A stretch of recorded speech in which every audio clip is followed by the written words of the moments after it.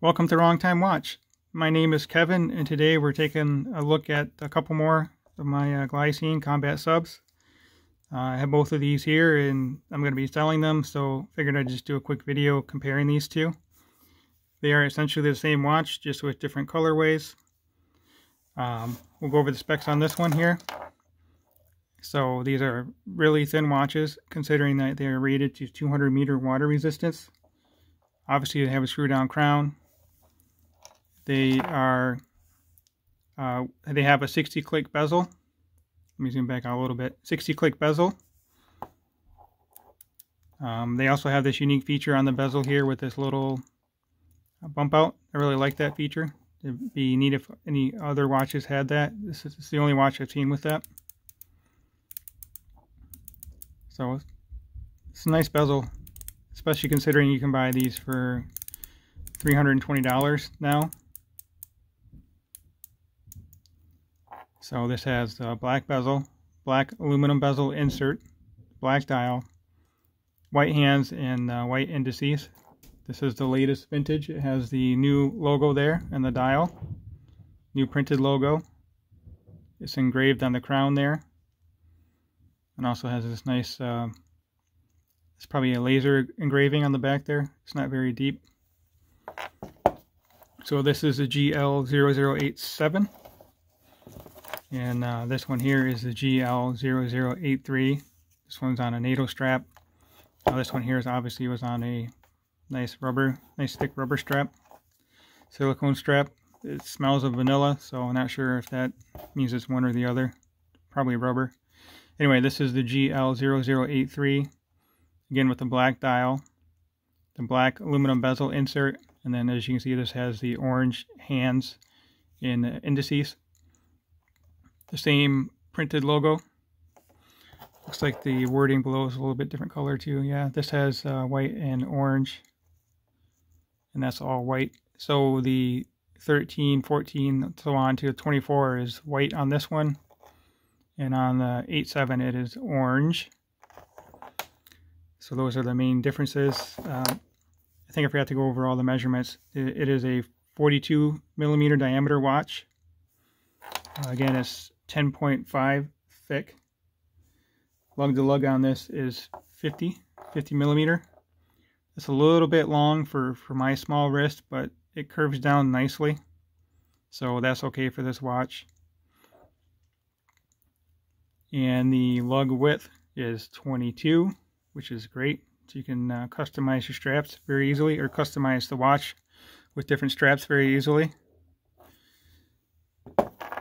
So those are the specs real quickly. Hold these up to the camera so you can see them here. Like I said, it's, it's, it's the same watch, just different, a little bit different coloring to it. Um, the hands on this one are, it's like a gunmetal color. Actually, I am wearing the, another combat sub, I'm wearing the GL0094 been wearing this for three, four days now. I'll do a review on this one uh, towards the end of the week. But um, so you can see the hands on this are also stainless, but it's not uh, it's not as dark as the one on the left here. So hold this up to the camera, you can kind of see what I'm talking about. It's a gunmetal color. And this one's just more of a, you know, like the case, stainless steel. And these watches are Swiss made with a Swiss movement, Swiss automatic movement. Used to have the ETA movement, but now I believe they have the Sellita SW200.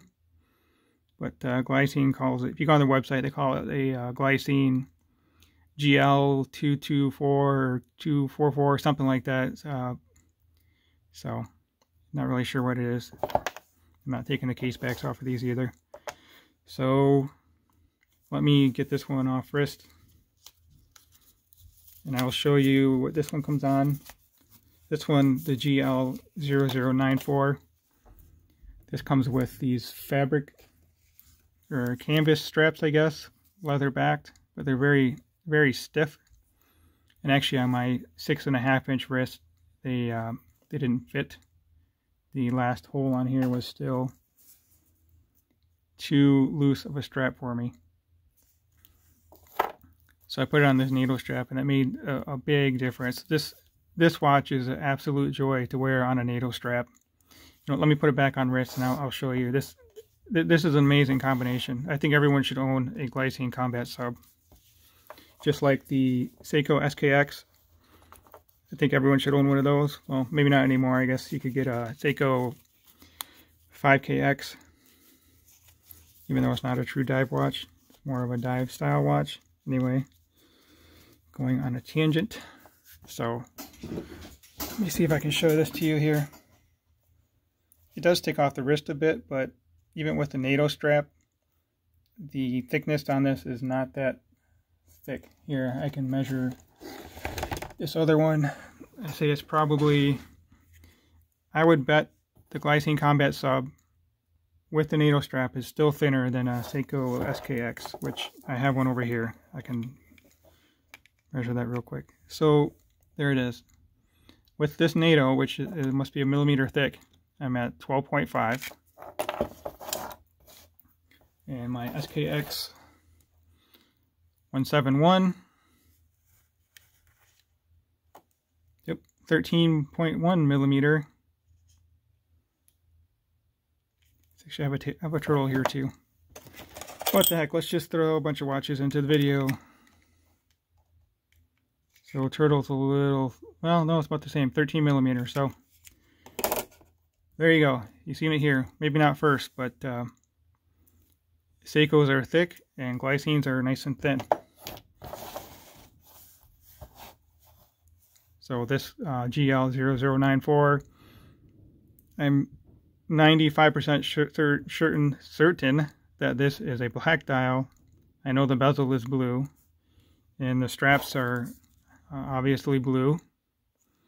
This, by the way, I got from cheapestnatostraps.com when they're having their sale I think it was five or ten bucks. I don't know. I don't know how long it'll last, but I like the way it looks on this watch and feels. So let me let's just uh, let's do a loom shot, and uh, you guys can take a look at these next to each other and see which one you like the best. Oh, forgot to mention this.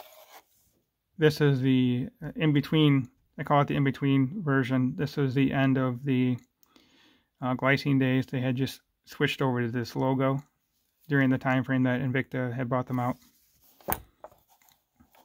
So I'll set these side by side for a moment and zoom in and you can study the difference.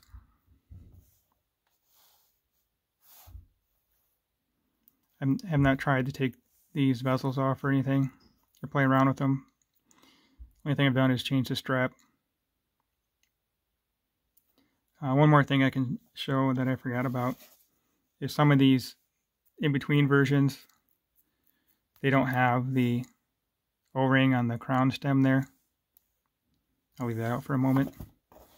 But these, the older ones did have the O-ring, and now these new ones have the O-rings as well. So these, I just purchased these a month ago or so. The older one I have has a um, drilled lugs, and these newer ones do not. So anyway, I will be right back with the loom shot. So on the far left, we have the GL0094, that's the blue bezel.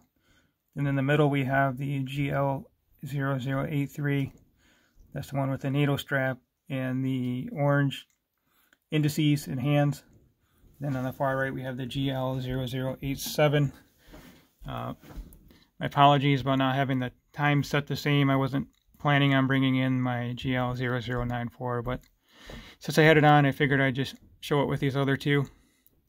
So if you have any questions, uh, feel free to ask them in the comments. Also, if you could like, subscribe, and uh, ring the bell, I'd appreciate it. Thank you.